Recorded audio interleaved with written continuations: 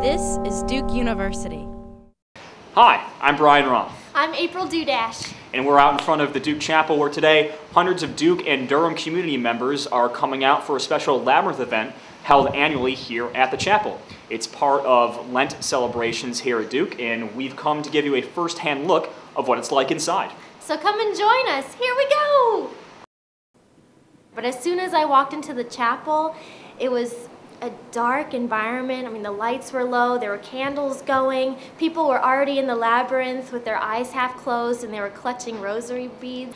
And I wasn't quite sure what to expect because I've never done something like this before. I mean, even though we were filming, there were genuinely some peaceful moments where I just realized I wasn't thinking about anything and I was connecting with myself. I feel like in life you rarely get those moments to slow down, and this was one of them. And some people we talked to had a similar experience. I feel calmer and I feel a little more uh, quieter and at peace.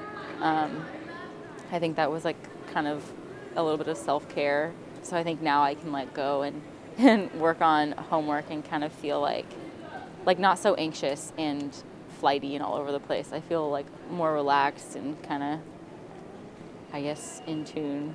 Produced by the Office of Communication Services, online at today.duke.edu/working.